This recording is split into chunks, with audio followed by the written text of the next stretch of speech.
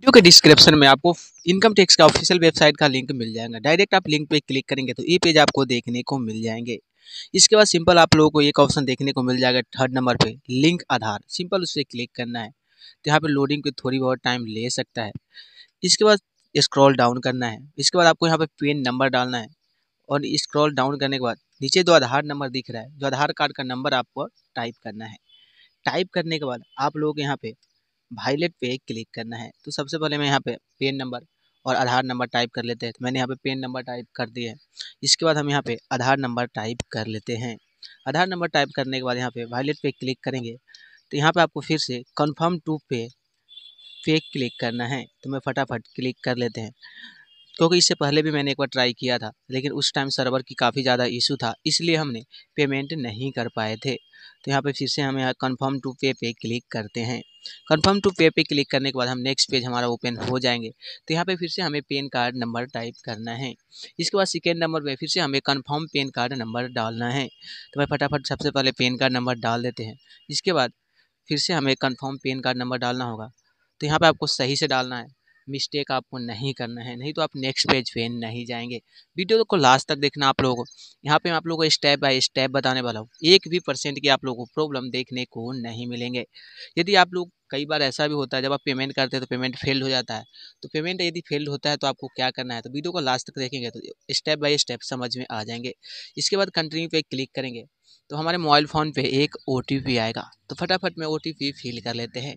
तो आप जब मोबाइल नंबर टाइप करेंगे, जो अपने आधार कार्ड में मोबाइल नंबर दिए हैं, वही नंबर आपको टाइप करना है। इस बात को भी आपको ध्यान रखना है।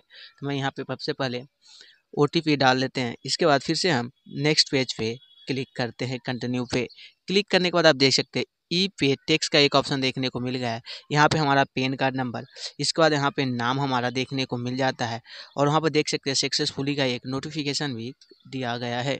इसके बाद कंटिन्यू पे क्लिक करेंगे तो यहाँ पे आप देख सकते हैं आपको तीन ऑप्शन देखने को मिल जाता है। तो यहाँ पे आप लोगों को काफ़ी ध्यान से सेलेक्ट करना है। कुछ लोग यहाँ पे मिस्टेक कर जाते हैं सेलेक्ट करने में। तो यहाँ पे आप लोग इनकम टैक्स वाले बॉक्स जो है, इस पर क्लिक करना है और यहाँ पे आपको प्रोसेस पे क्लिक करना है। इसके बाद न्यू पेमेंट के ऑप्शन पे आ चुके हैं। तो यहाँ पे एयर जो है, काफ़ी ध्यान से सेलेक्ट करना है। कुछ लोग यहाँ पे बाईस तेईस सेलेक्ट कर ले रहा है। इसकी वजह से उसे प्रॉब्लम देखने को मिल रहा है। तो यहाँ पे आपको तेईस चौबीस सेलेक्ट करना है। इसके बाद अदर रिसिप्ट में पाँच सौ सेलेक्ट करना है, यानी कि माइनर में। इसके बाद हमें यहाँ पे कंटिन्यू पे क्लिक करना है। कंटिन्यू पे क्लिक करने के बाद यहाँ पे फाइनली हम नेक्स्ट पेज पे आ चुके हैं। यहाँ पे देख सकते हैं हज़ार रुपये का पेमेंट जो ऑलरेडी सेलेक्ट है। इसके बाद हमें कंटिन्यू पे क्लिक करने हैं। कंटिन्यू पे क्लिक करने के में फाइनली हम यहाँ पे पेमेंट मेथड पे आ चुका है। तो यहाँ पे देख सकते हैं काफ़ी सारे ऑप्शन देखने को मिल जाते हैं। फ़र्स्ट में आपको नेट बैंकिंग डेबिट कार्ड इसके बाद R T G S, N F T, इसके बाद पेमेंट गेटवे का ऑप्शन देखने को मिल जाते हैं। तो नेट बैंकिंग में देख सकते हैं, यहाँ पे काफ़ी सारे बैंक का ऑप्शन देखने को दिया गया है। लेकिन काफ़ी लोगों को ऐसा है कि जो इस बैंक ऑप्शन जो दिया गया है, वो बैंक उनके पास अवेलेबल भी नहीं है। तो कैसे पेमेंट कर सकते हैं? तो वीडियो को लास्ट तक देखना, पता चल जाएगा आपको पेमेंट कैसे करना है। तो हमें यहाँ पे लास्ट वाले ऑप्शन पेमेंट गेट पे पे क्लिक करना है। तो यहाँ देख सकते हैं, थर्ड में भी काफ़ी सारे आपको बैंक का ऑप्शन देखने को मिल जाता है। इसके बाद आपका R T G S N F T S इसके बाद आपको पेमेंट गेट पे पे क्लिक करना है। गेट पे क्लिक करने के बाद स्क्रॉल डाउन करना है। यहाँ पे आपको दो ऑप्शन बैंक का देखने के मिल जाता है। फ़र्स्ट में फेडरल बैंक और सेकेंड में आप लोगों को कोटक महिंद्रा बैंक तो सिंपल आपको कोटक महिंद्रा बैंक सेलेक्ट करना है। इस बैंक में आपको अकाउंट है या नहीं है, इससे कोई मैटर नहीं करता। है सिर्फ़ आपको कोटक महिंद्रा बैंक सेलेक्ट करना है। इसके बाद कंटिन्यू पे क्लिक करना है। तो फाइनल हम पेमेंट मेथड पर आ चुके हैं। तो यहाँ पे पे नाउ पे क्लिक करेंगे।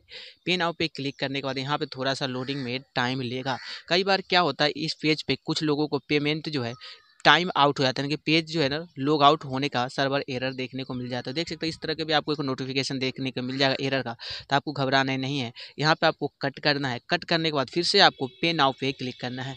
फिर से हम कट करते हैं, इसके बाद पे नाव पे क्लिक कर देते हैं। पे नाव पे क्लिक करेंगे तो यहाँ पर हमें थोड़ा वक्त लगेगा, क्योंकि सर्वर पर इस टाइम काफ़ी ज़्यादा लोड है, जिसकी वजह से थोड़ी मोटी प्रॉब्लम देखने को मिल रहा है। तो पे नाव पर हम क्लिक करते हैं, इसके बाद हमें वेट करना पड़ेगा। इसके बाद यहाँ पे टर्म एंड कंडीशन देखेगा। यहाँ पे आपको स्क्रॉल डाउन करना है यहाँ पे बॉक्स पे क्लिक करना है। इसके बाद यहाँ पे प्रोसेस टू पे पे क्लिक करना होगा। सबसे पहले हम बॉक्स पे क्लिक करने हैं। इसके बाद सबमिट टू बैंक पे क्लिक करेंगे। इसके बाद सबमिट टू बैंक पे क्लिक करने के बाद यहीं पे काफ़ी ज़्यादा टाइम लग रहा है। तो यहाँ पे आपको वेट करना होगा। जब भी आप आधार कार्ड से पैन कार्ड लिंक करते हैं तो कुछ लोग एयर मिस्टेक कर जाते हैं। यानी कि यहाँ पे 2020 या 2021 सेलेक्ट करना है तो ये गलती नहीं करना है। यदि आप पेमेंट कर देते हैं तो आपका पेमेंट रिफंड भी नहीं आएगा। तो आप लोगों को ध्यान रखना है 2023 और 2024 ही सेलेक्ट करना है। तभी आप पेमेंट सही तरीके से कर सकेंगे। और आधार कार्ड से पैन कार्ड लिंक कर सकेंगे। तो किन छोटी छोटी बातों का आपको ध्यान रखना होगा। जब आधार कार्ड से पैन कार्ड लिंक कर रहे होंगे तो यहाँ पे हमें वेट करना होगा। थोड़ा बहुत टाइम लग रहा है। From the dust I was born To the dirt I shall return When my eyes are closed In the shadows. My enemies will think they won But I'm here to stay Destiny will overcome No, I am not afraid Like a phoenix in the night तो आप यहाँ पे देख सकते हैं process request पे चला गया, लेकिन काफ़ी टाइम बाद गया है। यहाँ पे देख सकते हैं हमें कोटक महिंद्रा बैंक का ऑप्शन आ चुका है। तो यहाँ पे आप लोगों को कहाँ पे क्लिक करना है? मैंने स्कीप पे क्लिक किया हो तो हम नेक्स्ट पेज पे आ गया तो यहाँ पे देख सकते हैं credit card debit card net banking UPI और क्यूआर कोड का ऑप्शन देखने के मिल जाता है। तो आप लोग जैसे भी आप पेमेंट करना चाह रहे हैं इजीली तरीके से कर सकते हैं। मैं यहाँ पे नेट बैंकिंग सेलेक्ट किया हूँ। इसके बाद हमारे पास एस बैंक अवेलेबल है। तो हम SBI बैंक सेलेक्ट करते हैं। इसके बाद मैक पेमेंट पे क्लिक करेंगे और इसके नीचे भी देख सकते हैं, काफ़ी सारे बैंक का ऑप्शन देखने को मिल जाते हैं। तो यहाँ से आप लोगों को जो पेमेंट मेथड का जो प्रॉब्लम है, ये सॉर्ट आउट हो जाएगा। इसके बाद प्रोसेस पे क्लिक करेंगे। क्लिक करने के बाद हमें जो आईडी पासवर्ड है, मैंने यूज़र आईडी और पासवर्ड टाइप करेंगे। इसके बाद लॉगिन पे क्लिक करेंगे। तो हमारा लॉगिन करते ही हमारे मोबाइल फ़ोन पे, एक ओटीपी आएगा। और ओ हमें सबमिट करना होगा। तो सबसे पहले हम वेट कर लेते हैं ओटीपी का। इसके बाद देखते हैं नेक्स्ट प्रोसेस हमें क्या करना है। यहाँ पे थोड़ा हमारा टाइम लग रहा है क्योंकि हमें आईडी पासवर्ड याद नहीं है। तो यहाँ पे पासवर्ड जो हमारा रॉन्ग बताया जा रहा है। तो फाइनली फिर से मैंने पासवर्ड डाला हूँ। तो फिर से यहाँ पे देख सकते हैं। नेक्स्ट पेज पे आ गया हूँ। इसके बाद यहाँ पे पे कन्फर्म पे क्लिक करना है। कन्फर्म पे जैसे ही क्लिक करते हैं हमारे मोबाइल फ़ोन पे एक ओटीपी आएगा तो सीधे हमें स्क्रॉल डालेंगे अब देख सकते हैं यहाँ पे हमें ओटीपी डालने का ऑप्शन आ चुका है। तो हमारे मोन तो हमारे फ़ोन पे एक ओटीपी आ चुका है। फाइनली हम ओटीपी फिल कर लेते हैं। ओटीपी फिल करने के बाद फिर से हमें कन्फर्म करना होगा। जैसे ही कन्फर्म पे मैंने क्लिक किया हूँ तो हमारा बैंक से पेमेंट है, कट चुका है। इसके बाद हमें यहाँ पे वेट करना होगा।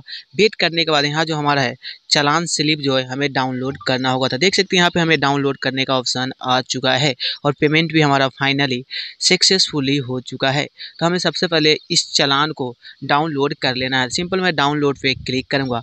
और डाउनलोड क्लिक करने के बाद ये स्लिप हम ओपन करके देखते हैं। तो यहाँ पर देख सकते हैं काफ़ी सारे डिटेल आपको देखने को मिल जाएगा। पेन कार्ड नंबर, किस नाम से आपने चलान काटा है, वो भी आपको देखने को मिल जाएगा। सिंपल मैं क्लिक करता हूँ। क्लिक करने के बाद आपके सामने कुछ इस टाइप का आपको चलान देखने को मिल जाएँगे। तो इसके बाद यदि आपके पास ये चलान आ चुका है तो आपको क्या करना है नेक्स्ट स्टेप में? तो आपको दो से तीन दिन तक वेट करना है। दो से तीन दिन वेट करने के बाद फिर से आपको इनकम टैक्स के ऑफिशियल वेबसाइट पे विज़िट करना होगा। जैसे विज़िट करेंगे तो फिर से आप लोगों को यहाँ पे लिंक आधार पे क्लिक करना होगा। लिंक आधार पे क्लिक करने के बाद यहाँ पे आपको पैन कार्ड नंबर और आधार कार्ड नंबर डालना है। इसके बाद फिर से आपको कंटिन्यू पे क्लिक करना है।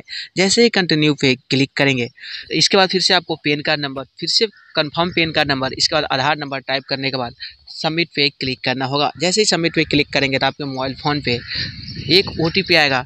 ओटीपी फिल करने के बाद सबमिट पे क्लिक करना है। जैसे ही सबमिट पे क्लिक करेंगे तो वहाँ पे आपको दिखा दिया जाएगा। सो, आधार कार्ड जो है, आपका पेन कार्ड से लिंक हो चुका है।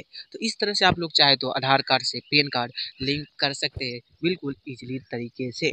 तो उम्मीद करता हूँ आप लोग समझ गए होंगे। तो बस आज के वीडियो में बस इतना ही। वीडियो पसंद है लाइक करना, चैनल पर नए हैं तो सब्सक्राइब करना। यदि आप लोगों को किसी भी प्रकार का प्रॉब्लम आता है तो आप लोग कमेंट कर सकते हैं। तो नेक्स्ट वीडियो में उसी टॉपिक पर बना दूँगा।